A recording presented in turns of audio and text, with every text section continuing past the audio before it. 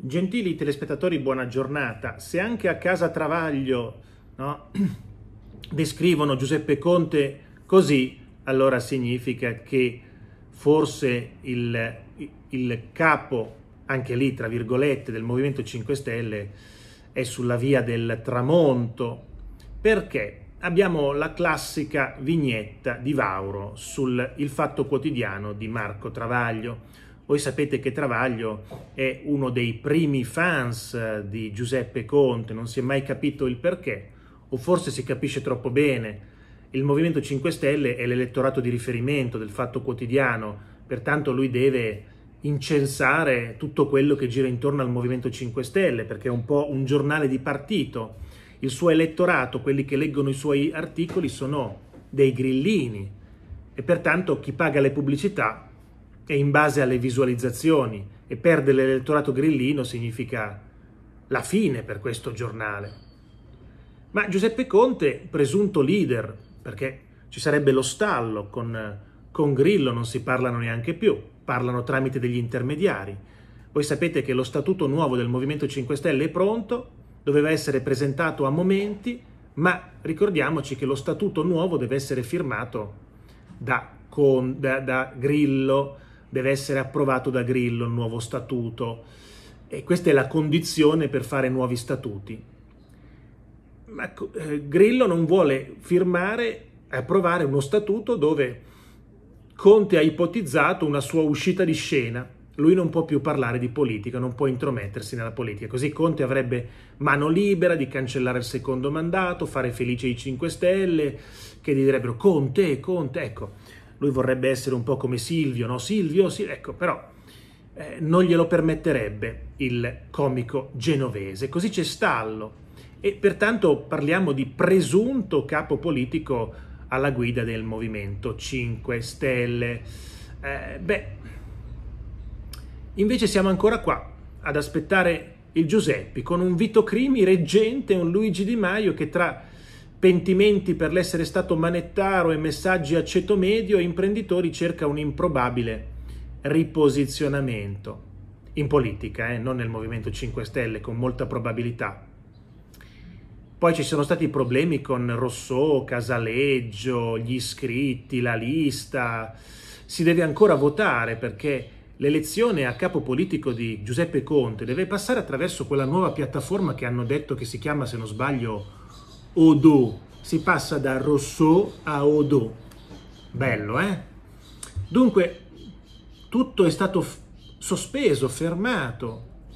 E lui adesso è una sorta di capo politico eh, senza niente, nel senso chi dice che adesso può parlare a nome del movimento se il garante non gli parla più? Eh, non è più legittimato. Chi dice che lui adesso parla a nome del movimento? Però, in effetti, andiamo al fatto quotidiano. Proprio per questa attesa se ne parla anche in prima pagina sul fatto quotidiano.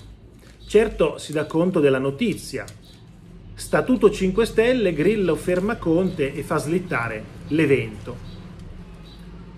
Ma soprattutto a parlarne è Vauro, il classico vignettista che noi lo ricordiamo per, eh, per la presenza assieme a Travaglio nelle trasmissioni di Michele Santoro, no? ve lo ricordate? Il trio Santoro, Vauro, Travaglio. Beh, il vignettista al Fatto Quotidiano lui che si definisce l'ultimo comunista della, de, d'Italia, che sulla prima pagina fa un, una sua vignetta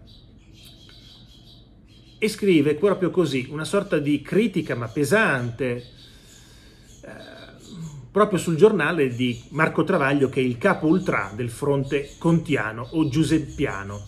Il titolo della vignetta è questo. E Conte? Punto di domanda.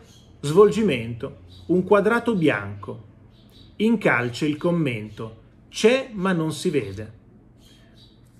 Colpito e affondato il Giuseppi, circostanza assai strana sul fatto quotidiano. C'è ma non si vede, c'è ma non è legittimato.